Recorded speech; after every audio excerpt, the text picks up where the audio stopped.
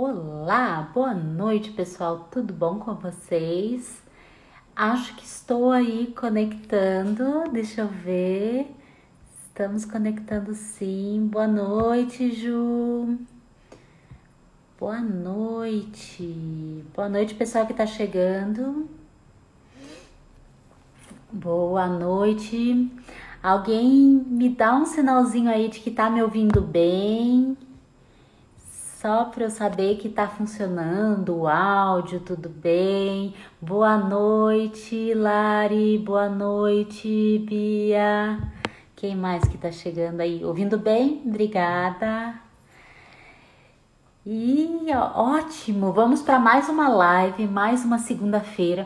Eu tava me dando conta o tanto que é, já faz muito tempo que eu faço lives e a segunda-feira é sempre uma live muito especial, né? E eu tava aqui me preparando, né? Muito de como que eu tô me sentindo até, né, para eu fazer essa live com a minha convidada especial que já tá aí no, na audiência e, e enfim. Segunda-feira é o nosso dia especial de lives, né? Algumas pessoas me mandaram mensaginha aqui no, no direct falando que eu tava mandando, tava fazendo menos publicações, menos vídeo, que tava acostumada a ter publicação minha todos os dias. Eu posso até contar depois um pouquinho mais, mas a gente está numa semana de muitas coisas acontecendo no IPCAC. A gente está inaugurou o site novo da área educacional. A especialização, as duas turmas começam na sexta-feira, agora vai ter aula inaugural. Então, a gente está numa correria, assim, com muita coisa boa, muita coisa boa acontecendo, sabe? Então, por isso que eu tô aí um pouquinho, né? Mas eu não tô tanto, não. Tô aqui com vocês e, e enfim. E vamos lá para mais uma live, mais uma live com um tema incrível. Na verdade, o tema de hoje é um tema assim que eu posso fazer live quase sempre com esse tema, que sempre vai ser vai ter muito que falar sobre isso, né? Que é o Ai que fome. A gente colocou na, na chamadinha da live Ai que fome, porque ai que fome é uma expressão que né? Que muita gente diz, ai que fome, né? E aqui em Curitiba a gente está caminhando para mais de 60 dias de quarentena. Acho que a gente já passou por muitas fases aí, né? De, de quarentena, de cada um lidando como pode com todas essas coisas. E hoje a gente vai falar de fome, que é uma sensação é, que para muitos essa época de quarentena está sendo super difícil de lidar. Para alguns está sendo mais difícil de lidar com a fome agora, né, em isolamento, em período de estresse ou as mudanças todas que é, o Covid causou na vida da gente do que antes. E tem aquelas pessoas que agora estão lidando até melhor, né? Então, enfim, a gente vai falar um pouco de fome, que é essa coisa que para alguns é muito, muito, muito, muito difícil de lidar. Então, para conversar comigo, vocês sabem que segunda-feira eu tenho esse costume, né? Já faz alguns meses que eu tenho chamado aí uma convidados especiais, né? Para essa é, segunda-feira eu convidei uma pessoa que é uma colega, né? Então eu chamei uma colega que trabalha comigo no IPCAC que ela é nutricomportamental, a gente trabalha junto, a gente tem vários casos, né? A gente atende várias pessoas juntas e ela faz parte da equipe do IPK, que trabalha com toda a equipe. E eu vou convidar ela agora, deixa eu ver onde que ela tá aqui. Cássia tá por aí. Deixa eu colocar a Cássia. Deixa eu achar a Cássia aqui. Vamos, vamos receber a nossa convidada, então, né? Consegue se conectar? Olá! Boa noite! Boa noite. Eu já estava te apresentando, Cássia. Você ouviu? Ouvi. Ah, Obrigada, Pri. Então seja bem-vinda. Pessoal, essa é a Cássia, ela é essa Nutri que trabalha comigo. Uma das, né, porque somos em muitas pessoas lá no IPK, que felizmente, né, a equipe é muito Sim. grande, muito linda. Mas enfim, a Cássia é minha convidada. Cássia, seja bem-vinda a essa live, né? Eu acho que a gente tem muito que conversar aí com o pessoal sobre esse tema, né, que é um tema incrível, você não acha? Sim, parece comum, mas às vezes é muito complexo também, né? Acho que é muito importante a gente estar aqui conversando sobre isso nessa segunda-feira, friazinha. Como você falou, tem uns 60 dias já, né, de 60 dias de quarentena em Curitiba. Quem é de São Paulo, eu tenho muita gente de São Paulo que me segue aqui, pessoal de São Paulo. Ah, beijinhos. Quem mais é de fora aí que Conta aí de onde que vocês são, pessoal. Eu tenho muita gente de Natal aqui me seguindo também, que são os meus aluninhos queridos de Natal. Alguns às vezes estão por aqui. Enfim, é, e pessoal de São Paulo está mais tempo ainda, sabe, Cassi? Então, uhum. né, virou a vida de todo mundo de cabeça para baixo, né? Sim, é verdade eu fico pensando, assim, para a gente começar, assim, é, que uhum. quanto mais mexidos emocionalmente as pessoas estão, tem uma chance grande, né, de que, para quem não tem uma boa relação com a comida, principalmente, é, buscar conforto nos alimentos, né? Olha a Pamela de Floripa lá. Beijinhos para Floripa também, minha querida. Marcando presença. Sim, sim. É, e você concorda com isso? Me fala um pouquinho, assim. Eu acho que essa coisa da gente estar tá muito mexido, né? Muitas pessoas estão mexidas emocionalmente nessa época, estão mais estressadas, ou estão é, não conseguindo fazer atividade física, ou não estão conseguindo, enfim, trabalhar direito. Muitas coisas Sim. estão acontecendo, né? Então, é, parece que se a pessoa já não tem uma boa relação com a comida, daí sim que ela vai buscar esse conforto na alimentação, né? Na comida, enfim. O que, você acha disso? Claro. Me fala que, qual que é a tua percepção e tudo mais. Vamos lá. A gente tem um movimento muito legal que é o Comfy Foods, que é exatamente isso. São essa busca por esses alimentos confortantes, né? Uh, muitas vezes eles aparecem em momentos onde a gente não está necessariamente confortável com aquela situação e a gente busca no alimento esse conforto. Então, se a gente for para perceber, uh, tem muita gente cozinhando bolos, cozinhando pães, né? E... Nesse país, é um memezinho que eu vi assim, esses dias, né? E é uma, uhum. e é uma comida super confortável, bolo, né? Bolo caseiro, assim, né? É super confortável. Exato. E é aquela sobremesa que a avó fazia, o pão, é, o bolo que a mãe fazia quando era criança. Tem muito esse resgate, não só da infância, né? Mas, enfim, desse momento onde as coisas não estavam tão incertas assim, onde a gente não tinha essa preocupação, né? Como a gente está tendo hoje em dia. Então, é um movimento lindo, ele é super válido.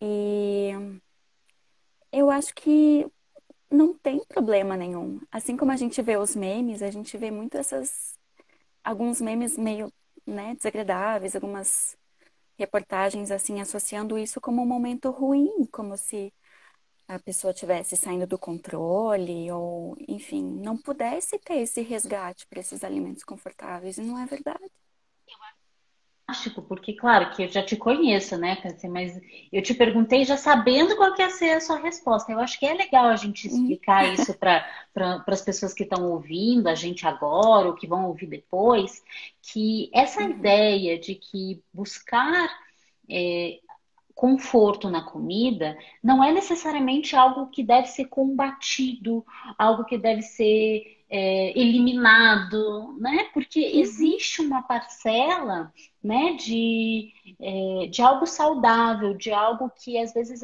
é até é, positivo no comportamento alimentar, né? Claro que a gente não está falando aqui daquelas pessoas que são compulsivas, né? Que tem aí um, um outro nível de relação com, com a comida, né? Mas a gente pensar que buscar conforto nos alimentos é é algo bom, né? É bom a gente tomar uma claro. sopinha. Eu sou da, da, da sopinha, né?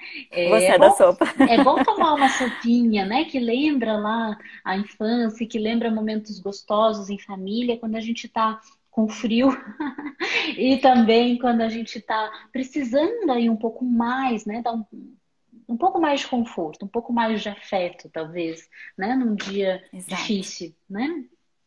Com certeza. E a gente pode pensar também, uh, justamente quando a gente pensa que pode não ser uma coisa boa, tentar reverter esse pensamento, pensando que a gente está cozinhando essas coisas. Então, a gente resgata prática, a gente resgata habilidade, às vezes a gente inicia essa prática, essa habilidade.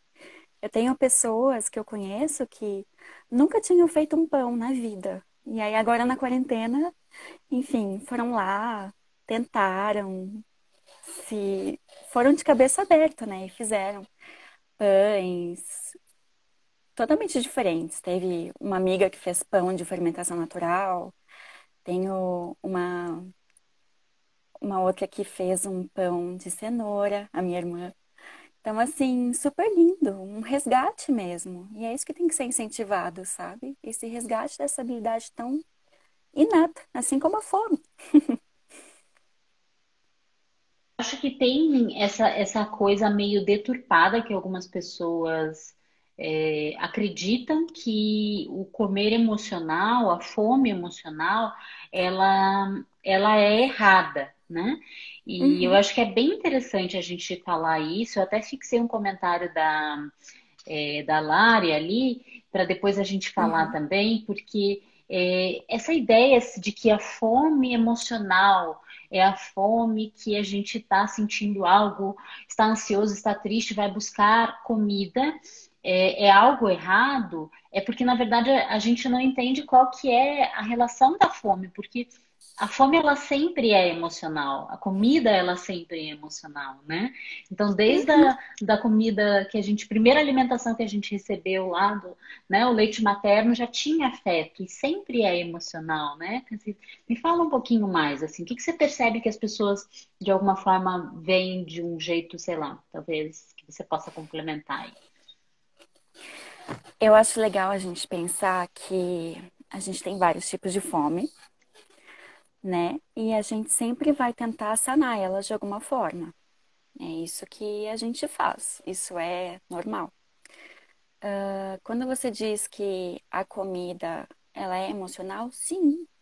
Pode ser que a fome seja física, mas a comida sempre vai ter um fator emocional envolvido. A gente nunca vai comer algo é, enfim, que nos desagrada ou até, até quando é por punição. Tem ali um fator emocional também, sabe?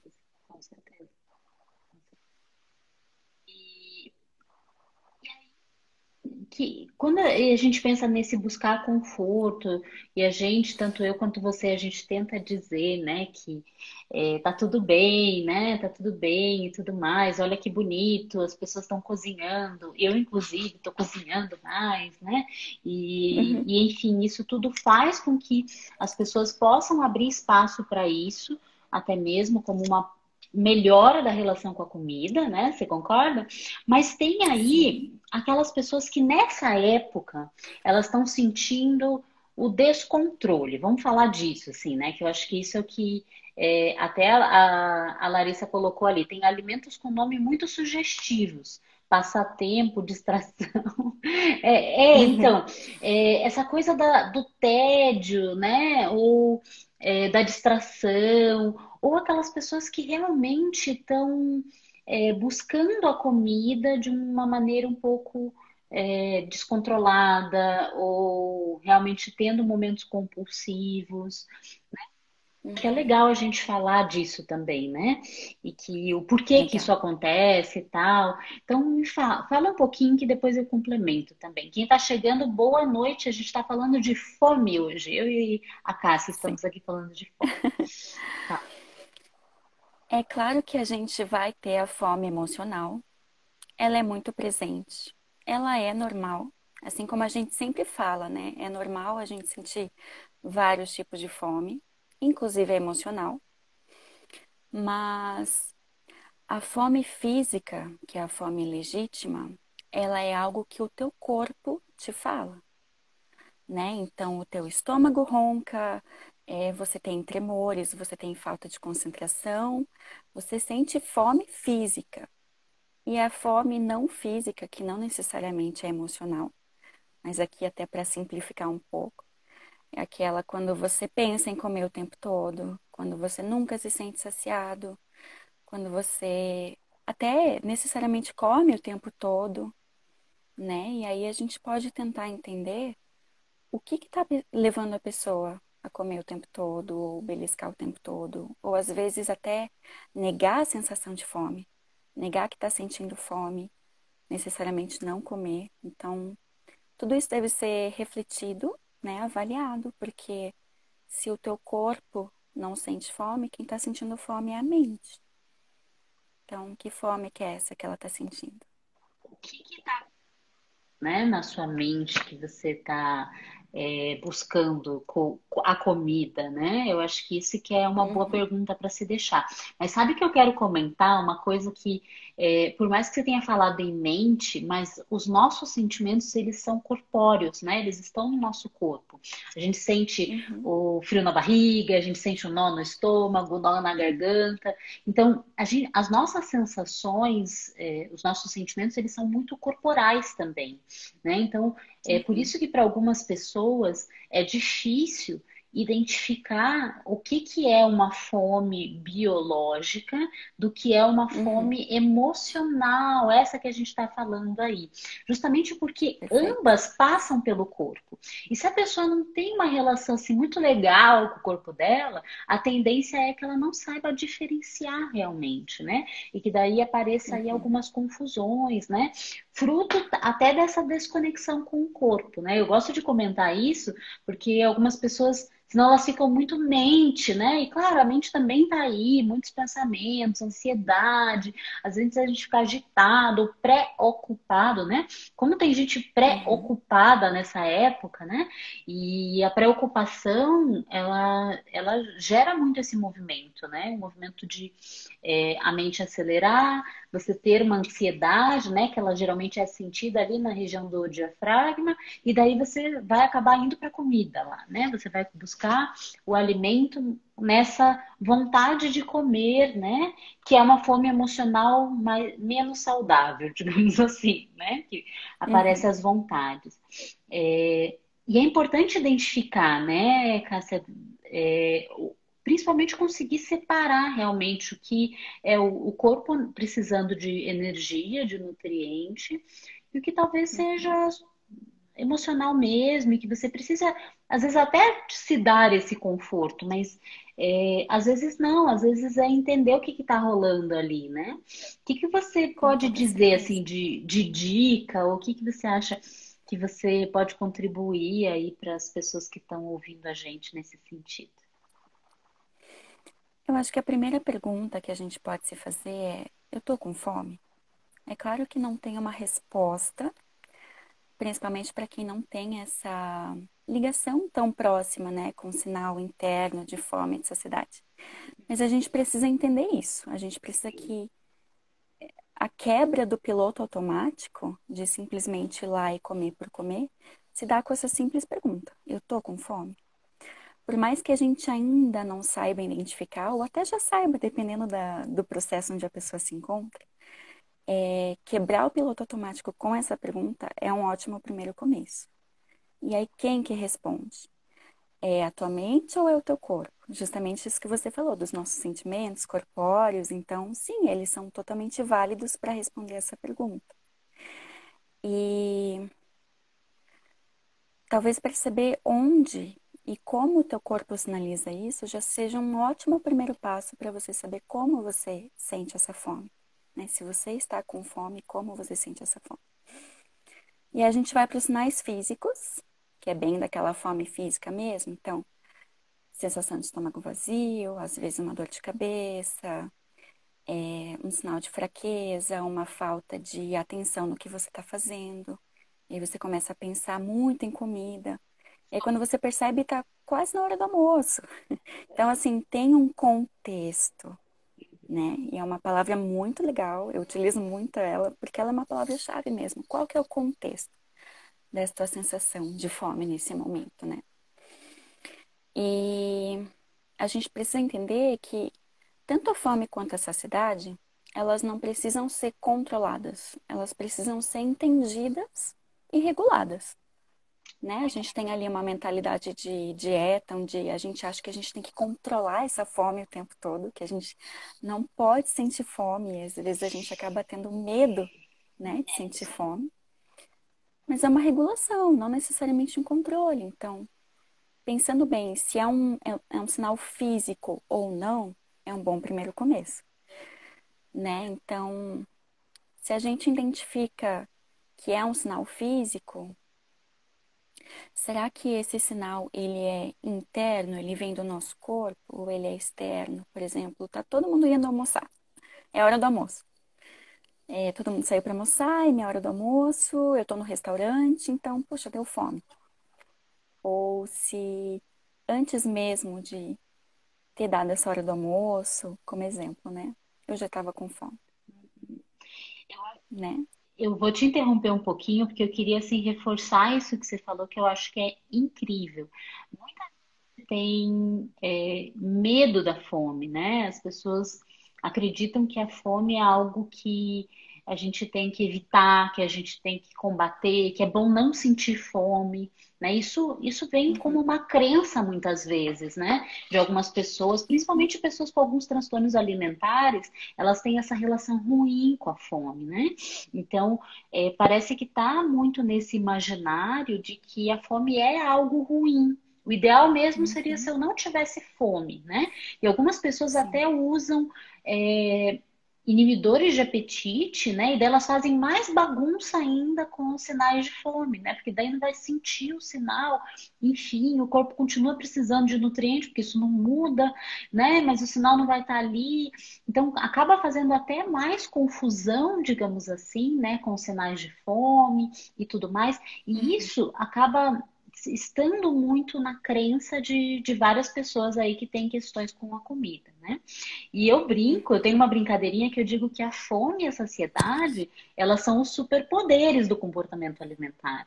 Porque toda vez que a gente lida com a fome, dando esse poder para ela, dizendo assim, não, a fome é algo tão importante, a saciedade é algo tão importante que ela é o meu superpoder. E se eu ficar em contato com esse superpoder, e se eu trabalhar né, a fome, se eu trabalhar a saciedade, se isso para mim realmente fizer sentido, nossa, eu vou conseguir ter uma boa relação com a comida. Porque eu vou me sentir é, não tendo que controlar algo, mas fluindo, né, naquilo que é, deveria ser a nutrição, né? Essa coisa afetiva, essa coisa fluida, essa coisa que realmente é, nutre não só no sentido biológico, mas também no sentido emocional da coisa, né? Então, assim, quis te interromper porque Perfeito. eu achei fantástica a tua fala, né? E realmente pode ter alguém aí que está nos ouvindo, não sei se tem alguém aí que está nos ouvindo, que lida assim com a fome, né? E se lida, gente, Hashtag fica a dica aqui, né? Me da casa. Porque é, a relação com a comida fica muito melhor quando a gente faz as pazes com a fome, né? E a gente usa como um superpoder mesmo, né? É um superpoder, inclusive, no sentido de que cada um sente uma fome de um jeito diferente. Né? A gente fala lá dos sinais físicos, mas pode ser que a minha fome seja um burburinho no estômago e uma falta de concentração. E daí a fome de outra pessoa não seja o burburinho no estômago, seja uma tontura. E pode ser que a fome de outra pessoa seja de outro jeito, não tem um jeito certo de sentir a fome. A gente precisa entender, é, nesse sentido de superpoder, é também no sentido de respeitar. Ele é um sinal que o teu corpo está te dando. Então, respeitar esse sinal é basicamente respeitar o teu corpo, né? Uma forma de começar a fazer isso, pelo menos.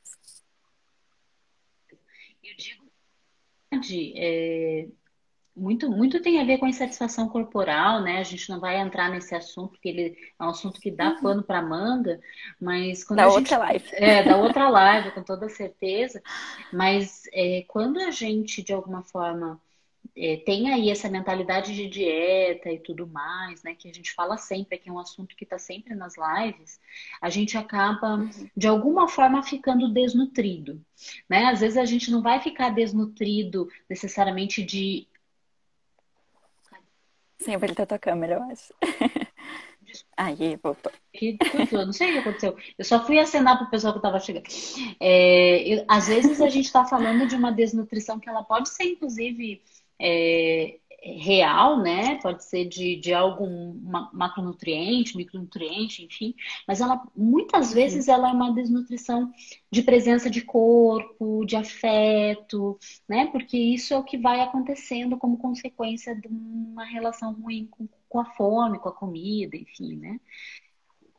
Perfeito.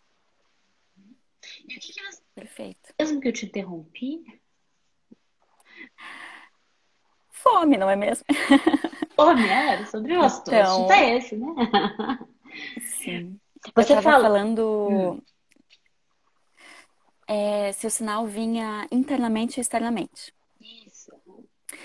Então, será que, principalmente para essas pessoas que percebem que comem o tempo todo ou sentem fome o tempo todo, será que não é alguém te oferecendo essa comida? Um acesso muito grande a essa comida o tempo todo. Uh, pode ser isso também. Então, investigar nesse caso por que, que esse sinal ainda está tão conturbado, tão parece incoerente em você, né? Porque tem uma explicação. A gente precisa perceber e entender qual é a explicação. É legal falar que existem muitos tipos de fome, né? Até tem um vídeo antigo seu que você fez é, um vídeo falando disso, lembra? Faz tempo. Sim. Acho que já vai fazer um ano. Não era de cigana. Não era de cigana. Tá lá no canal do PECAC, mas eu acho que são os oito tipos de fome. Isso, são nove tipos de fome. É, tô errando os são muitos tipos de fome. muitos tipos de fome, né? E, e você falou Sim. do contexto, né? Que tem essa, essa questão aí do contexto, daquilo que tá ali. Claro que tem aquilo que está é, sendo oferecido também para você, aquilo que, que de alguma forma afeta os teus sentidos, né? E que vai dar fome se você vê é, alguém de alguma forma se alimentando, ou se você sentir aquele cheirinho da comida sendo preparada, né, e tudo mais. Sim. É, quem perguntou é Sinara, né? Não sei se eu falei teu nome certo. É no canal do IPCAC, arroba IPCAC, que é uhum. o Instituto de Pesquisa do Comportamento Alimentar de Curitiba, que nós duas trabalhamos lá. Então, se você quiser dar uma Sim. conferidinha lá no canal do IPCAC, tá? É... Tem Instagram, tem blog. A gente, representantes da equipe. É isso aí. É, então, nesse tanto de fome que tem, né, de tipos de fome, é, eu acho que seria legal se a gente falasse um pouquinho mais disso, né? Que essa coisa também do contexto, daquilo que é, às vezes está acontecendo, né? Até porque o contexto da quarentena é um contexto de que as pessoas muitas estão em casa, né? E quando as pessoas estão em casa, é, algum, é, tem gente se queixando disso, assim, porque eu estou em casa, é mais fácil eu ir ali na cozinha e comer alguma coisa, e daí eu, eu vou ter fome, mas na verdade não é fome, é, enfim, né? Essa vontade é algo emocional e Sim. fala um pouquinho disso. Vou, também vou comentar depois, mas fala um pouquinho, quero. Legal. Eu acho que é justamente essa coisa do acesso eu falei, quando a gente está em casa, a gente tem acesso e a gente sabe o que, que tem na geladeira, a gente sabe o que, que tem no armário. Então parece que pode ser que para algumas pessoas fique ainda mais irresistível é, realmente se atentar a esses sinais, né? Enfim, quebrar esse piloto automático, como, como eu falei antes. Então, é claro que isso pode acontecer, a gente tem que entender o nosso contexto. É um contexto de quarentena, né? Tá sendo algo totalmente novo para todo mundo. Então, não é assim um fim de semana em casa, né? É uma quarentena. Então, acho que talvez é, se entender dentro desse contexto também, sabe? Uh, tem muito a ver com o fator emocional, com estresse, com desânimo, com tédio, com ansiedade. E eu acho que você tem um poder de falar melhor do que eu, né? Mas isso também altera os nossos sinais e percepções. Do aspecto mais de crença, porque muitas das pessoas que se queixam, né, que de alguma forma elas estão exagerando aí com a comida, em época de quarentena, ou antes já exageravam, né? Como diz a Lara ali, é, as bichas atiçadas por comida. Isso acontece muito porque essa pessoa tem uma mentalidade de dieta.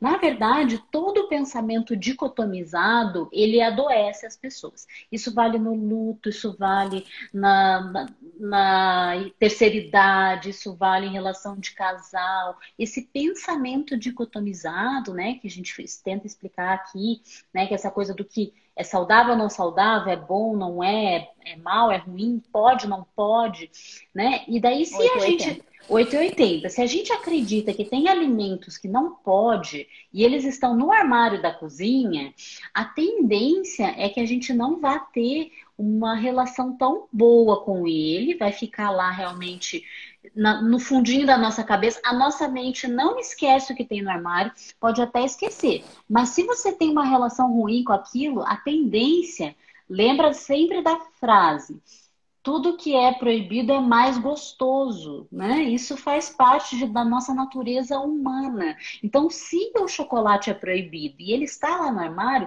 a tendência é que ele fique irresistível, né? Você concorda?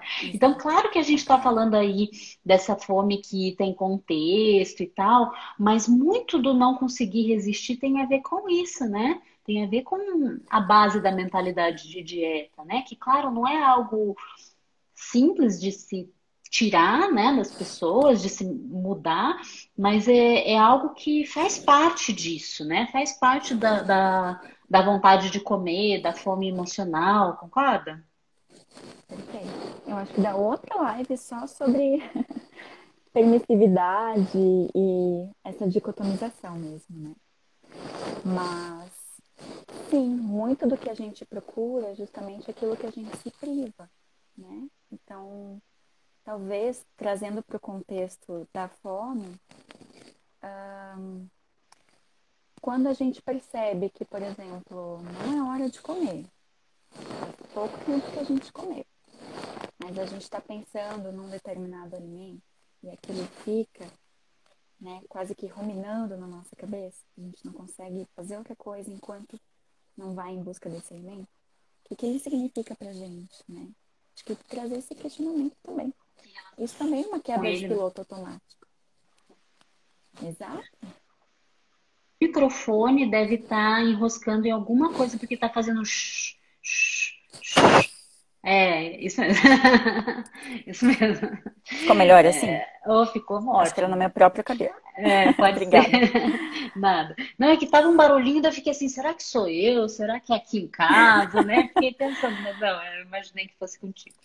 É, então, que relação que a gente tem com esse alimento e como que a gente quebra pilotos automáticos, né? E crenças.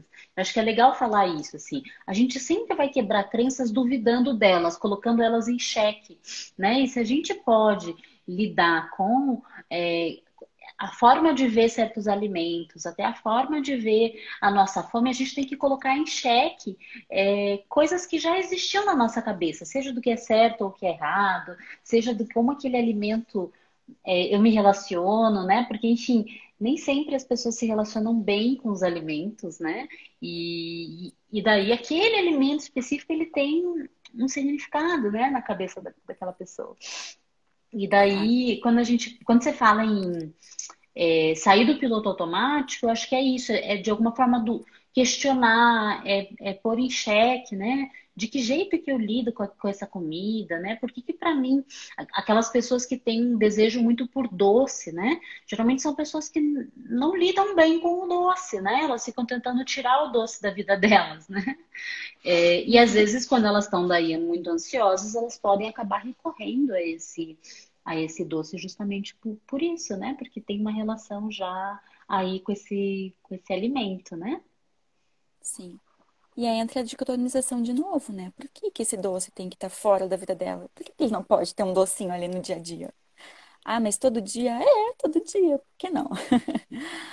é, é justamente tentar quebrar também esse estigma, né? Da, da comida, do alimento, do que pode, do que não pode. É, a gente tem estratégias para ver se é uma fome genuína. Acho que é legal falar sobre ela. Então, a partir do momento que você se questiona se realmente é uma fome, a gente pode pensar é, como ela surgiu. Será que ela surgiu gradualmente? Né? Então, assim, ah, lá por 10 horas eu vi que eu senti um certo incômodozinho, aí às 11 comecei a pensar no almoço, e aí meio-dia pensei, não, agora eu tô com fome. Ou será aquela, aquela fome urgente, que é a, a, a fora de contexto, né, geralmente. Então, eu tô aqui nos meus afazeres, eu sei que tem um chocolate na geladeira, e é um chocolate que eu não me permito comer no dia a dia, ou no armário, né, para quem não guarda chocolate na geladeira. é, e aquilo vai ficar recorrente no meu, no meu pensamento.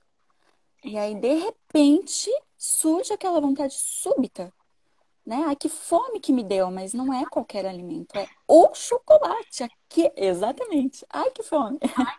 É aquele chocolate que eu tô tentando evitar o dia inteiro ou a semana inteira. É aquele alimento específico. E ele vem subitamente, né?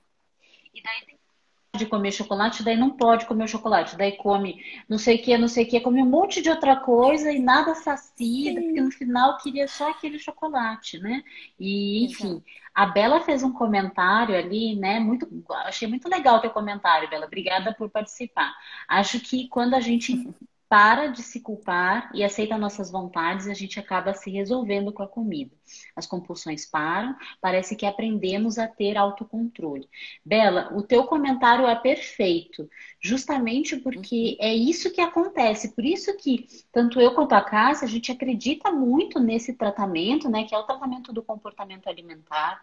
Claro que falando assim pode parecer fácil, mas não é tão fácil, né? Mas quando a gente consegue não. realmente lidar com isso tudo, né? Porque às vezes tem coisas subterrâneas, assim, escondidinhas, né? Que às vezes pode sabotar a gente mudar, né? Mas quando a gente consegue fazer isso que você está falando, Bela, de é, se resolver com a comida, fazer as pazes, né? Lidar diferente, a, a compulsão para. Na verdade, essa fome emocional descontrolada, ela some e é quase um passe de mágica, assim, né? Eu canso de ouvir de pacientes falar assim: eu não acredito que eu consegui resolver isso, porque parecia uma coisa que eu nunca ia resolver na minha vida, porque eu já vivia isso há muitos anos.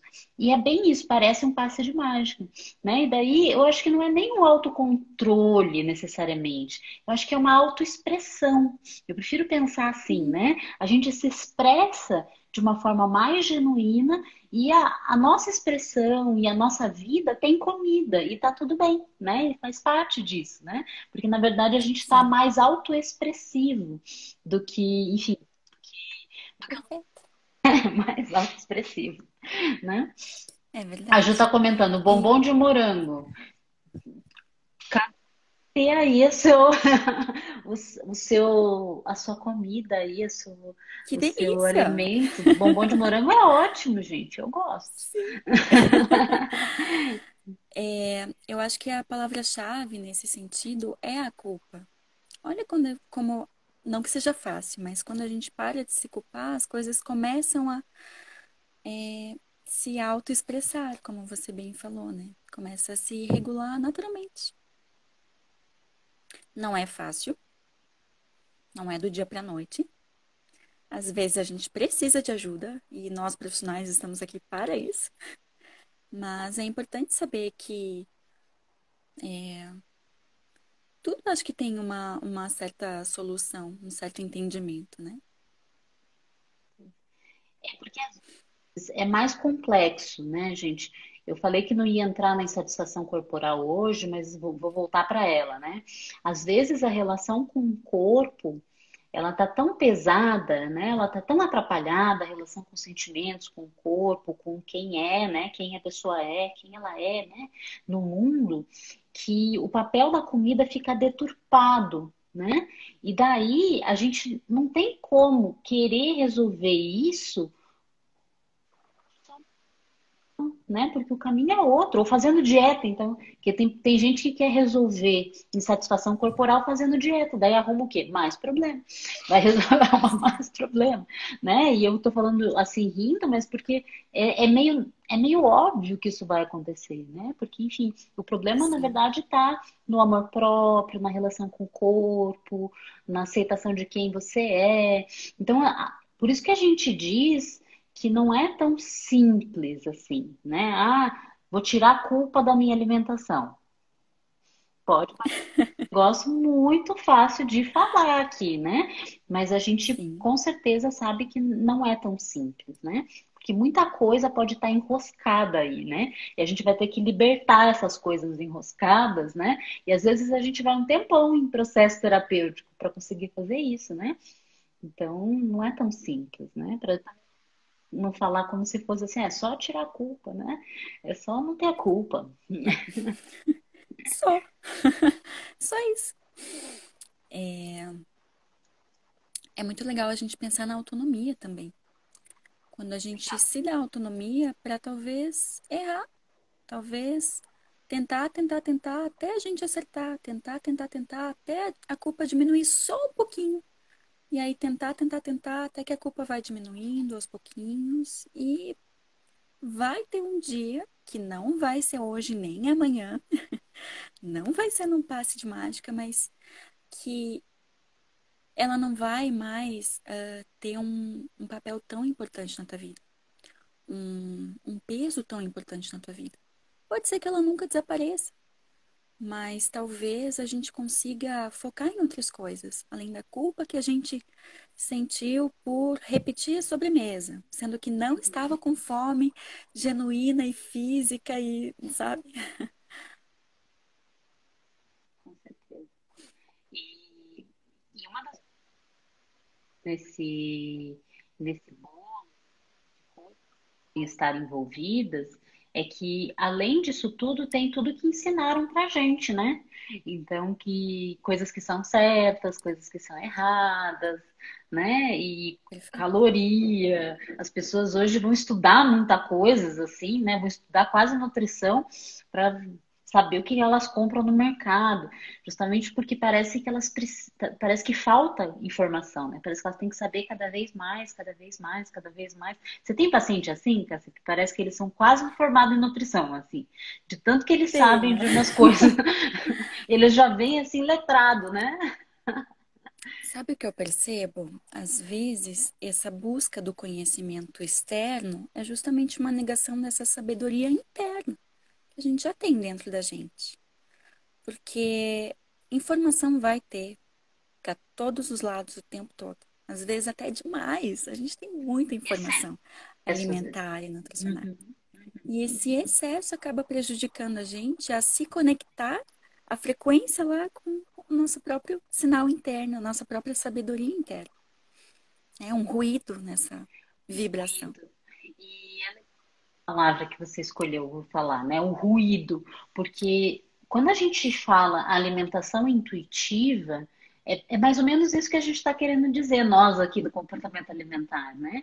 Em que o, o, uhum. sinal mais importante do que se deve comer, né? Do que se deve escolher, do que se deve ter na sua, na sua vida, ele é interno. Ele não é do nutricionista, ele não é do médico, do psicólogo, muito menos. Ele não é de ninguém de fora, ele não é da sua mãe, ele não é da sua família. Ele é um sinal interno e muito único, né? Muito singular para cada pessoa, né? Então, é, é reconhecer, valorizar, não se culpar por, por aceitar esse, esse sinal, são muitas fases dessa conexão interna aí, né? Claro, é um processo. Né? Assim como o processo terapêutico psicológico, terapêutico é, nutricional, processos. processos. Mas se a gente pensa na fome física, que é aquela que surge genuinamente e que a gente está tentando entender melhor como é que é para conseguir se conectar um pouquinho mais, a gente uhum. pode também pensar é, uma prática que eu gosto para a gente tentar pensar justamente nessa sabedoria interna como é que está o nosso corpo dentro da gente. Pensar principalmente no estômago e no intestino. Então, parar para mentalizar mesmo se a gente está sentindo ele um pouquinho mais cheio ou mais vazio. O intestino é um pouco mais difícil, né? Mas enfim, o estômago. Focar no estômago. Dá para sentir. Sim. Dá pra sentir. Na e verdade, ninguém treina começa... isso, né? Ninguém aprende isso, né? As não. pessoas não, as pessoas não aprendem isso em lugar nenhum. E, e muitas pessoas elas nem sabem dizer como é que tá, como é que o estômago fica quando come, quando o intestino responde com determinado alimento, né? Uhum. Porque isso também requer uma conexão com os últimos alimentos que a gente comeu, se eles eram mais. A composição deles, né? Se eles eram mais saciogênicos ou mais simples, mais. Enfim. Não tentando entrar na parte metabólica da coisa, né? Mas se eles promoviam mais saciedade ou não. É, a quantidade que a gente comeu desse alimento. Né? Então, tudo isso pode ser um norte para a gente saber se a nossa fome que a gente está sentindo é realmente genuína, é realmente física mesmo. É... E é normal a gente pensar que, ah, então tem que ser só fome física, não pode ser fome emocional, não necessariamente, né? Mas. Que a gente começou falando, né, da comida ser conforto também, né? Exato.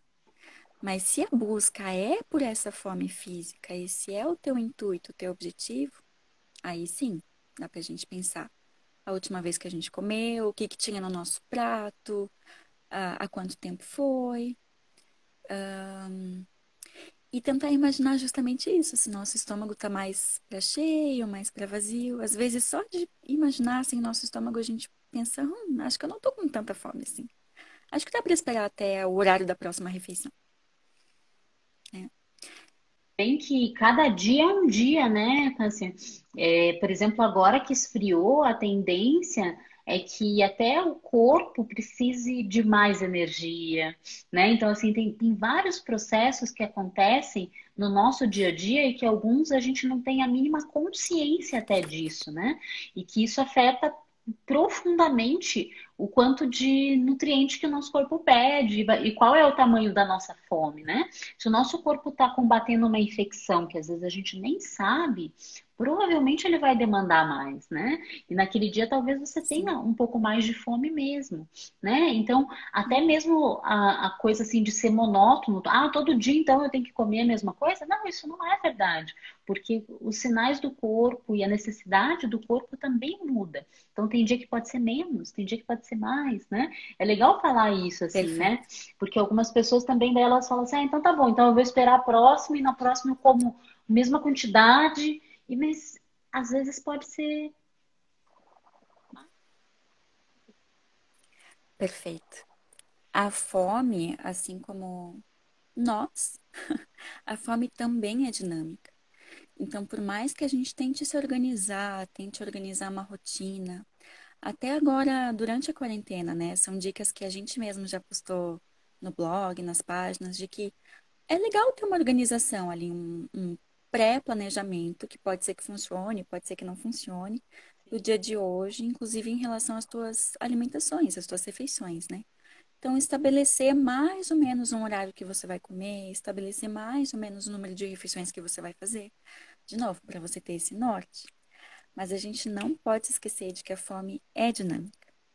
Né? Ela não é a mesma para todo mundo, ela não é, não é a mesma todos os dias, ela não é a mesma em todas as refeições. E isso é normal. Né? A fome física é assim também, não somente a emocional.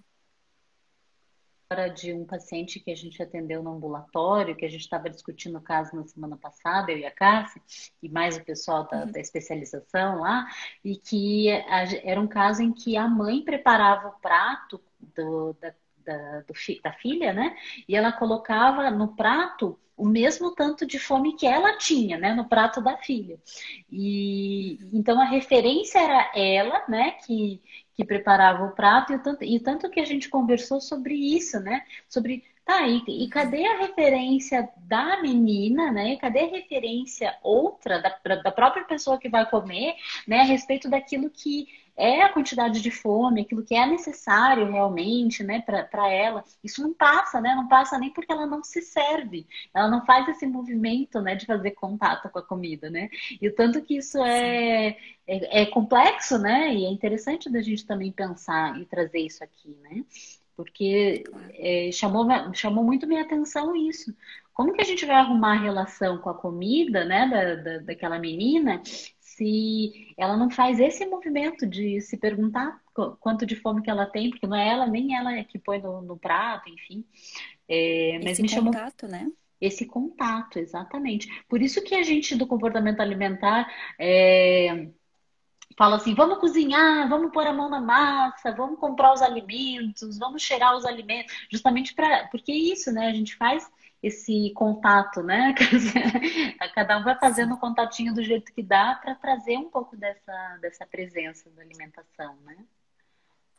Eu acho que um jeito muito legal da gente encarar a fome, ao invés de tentar negar que ela existe ou ficar triste porque está sentindo fome, sendo que a gente já viu aqui que ela é normal, ela é natural, ela é dinâmica, é tentar ter atenção a ela e curiosidade também. Você falou dos temperinhos, né? De cheirar o tempero, eu me lembrei disso. É você ter curiosidade com o que você está colocando no seu prato, do que você está se nutrindo. E aí não só no, no quesito dos alimentos, né? No quesito das emoções e sentimentos também. Uma boa pergunta. O que você põe no seu prato? Seja no seu prato é, real, né? Quanto no seu prato emocional. Obrigada, Ju. Sempre tem uma boa alma que me avisa quando tá acabando o horário, porque o Instagram interrompe a live quando ah, passa de uma.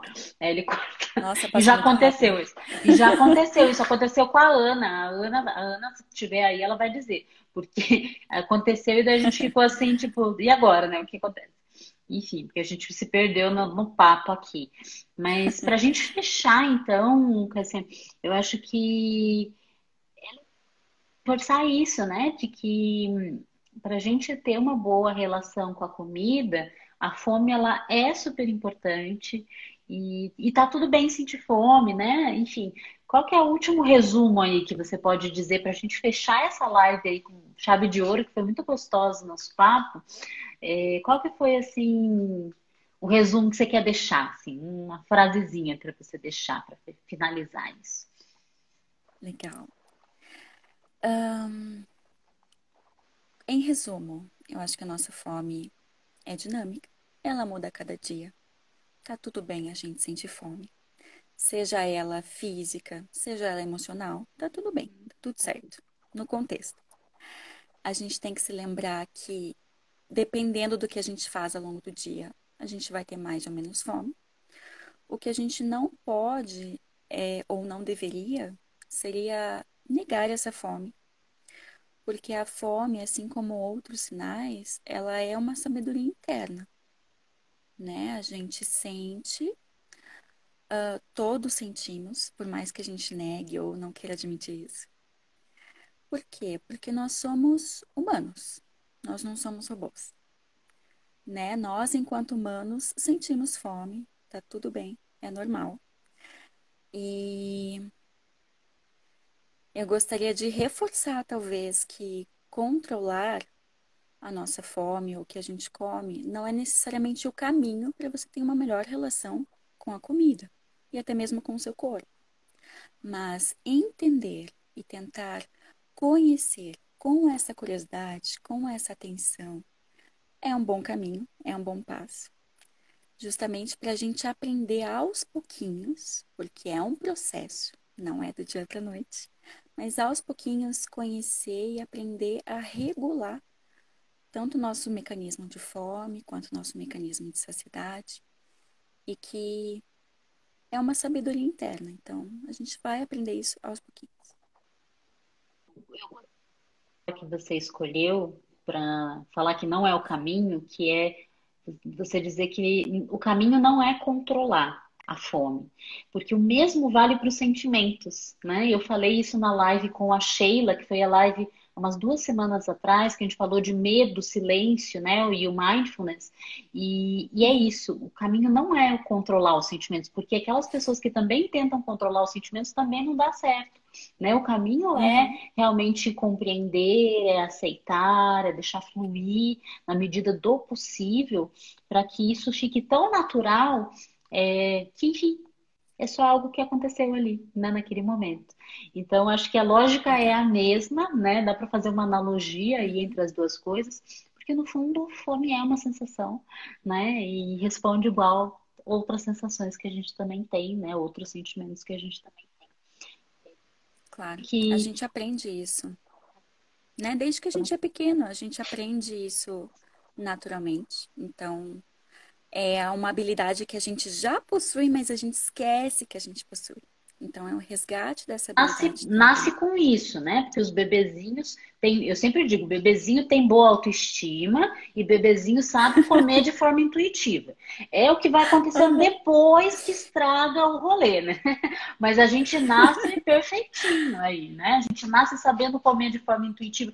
O bebê não faz isso, ele come, daí quando ele não quer, ele joga no chão, né? Ele passa pela cara toda. Vira cara, faz careta. É isso aí.